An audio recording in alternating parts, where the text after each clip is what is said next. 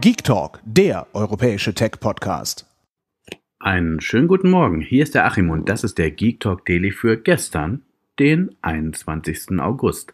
Ja, sorry, ähm, Vorbereitungen auf die IFA in Berlin haben dann doch zu lange gedauert und dann ist der Geek Talk Daily leider untergegangen. Aber dafür gibt es heute nochmal den Nachschlag zu gestern. Warum auch nicht? Also, heute dabei Snapchat, Gmail, Apple Pay und Twitch Prime. Beginnen tun wir mit Snapchat. Die haben ja bereits im November 2017 angekündigt, die Android-Version komplett general zu überholen. Das war auch ordentlich nötig, denn Android war bei Snapchat auch immer so unter ferner Liefen.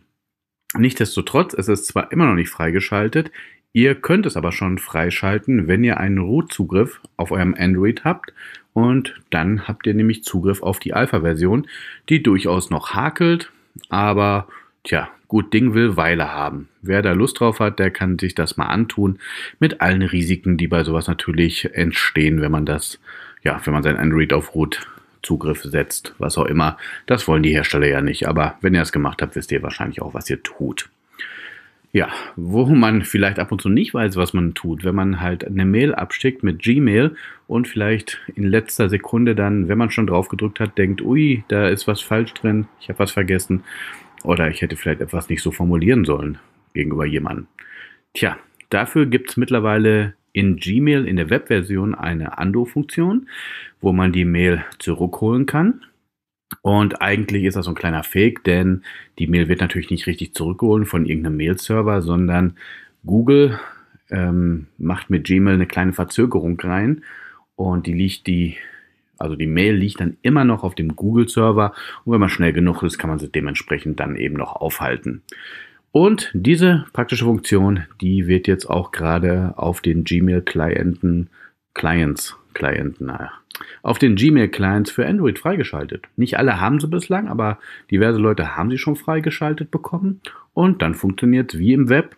Einfach während des Absendens unten nochmal stoppen, beziehungsweise wenn sie abgesendet worden ist, unten auf Ando tippen und dann hat man vielleicht noch Schaden abgewendet.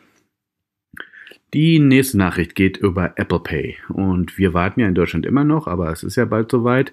In Amerika geht es dafür umso schneller immer weiter, denn Apple Pay gewinnt immer neue Partner und die haben jetzt auch Costco gewonnen. Costco, das ist praktisch wie die Metro hier in Deutschland, also wo man mit dem Gewerbeschein reingeht und dann halt auch, weiß ich nicht, ähm, Zucker in äh, 5 Tonnen Säcken kaufen kann.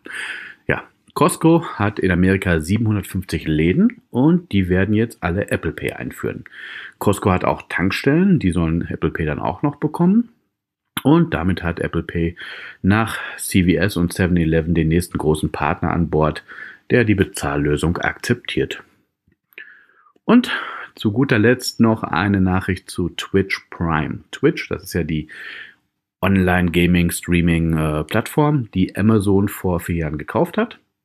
Und seit zwei Jahren kann man als Amazon Prime-Kunde auch Twitch Prime benutzen. Da bekommt man diverse Benefits, freie Spiele und werbefreie Streams. Und genau das letzte, also werbefreie Streams, die werden abgeschaltet. Also verabschiedet euch oder macht noch schnell ein äh, neues Prime-Abo, dann habt ihr noch ähm, ein Jahr Zeit, also wenn ihr verlängert um ein Jahr, bevor das zuschlägt. Ansonsten ist Mitte September Schluss mit werbefrei, aber mein Gott, da müsst ihr die Werbung halt akzeptieren. Andere Alternative ist Twitch Turbo zu abonnieren. Das kostet 8,99 Dollar im Monat.